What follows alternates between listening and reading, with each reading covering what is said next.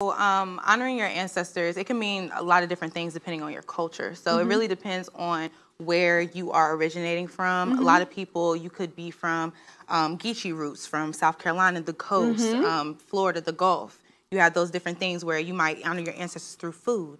Some people have to mm. honor their mm. ancestors by leaving communion every month and mm-hmm. being able to sing hymns and do those different things to honor their ancestors. Say you had a grandmother who was a stewardess in the church mm-hmm. and she mm-hmm. was very in in indoctrinated into what was going on with service. She might want you to have a whole church service, praise and worship with her at your altar so that you can honor your ancestors. There's also many other different things you can do. You can leave coffee, you can leave hot tea, mm. you can fix things within your family. That's honoring your family, your um, ancestors as well. Mm-hmm. Being able to talk to your family members, solving family feuds. Mm-hmm. That's all ways to honor your Honoring ancestors. them, to stay together, right? The unity and love yes, that was absolutely. created. That it's not, you know, just broken over something so minuscule right. that you can fix. Okay. Yes.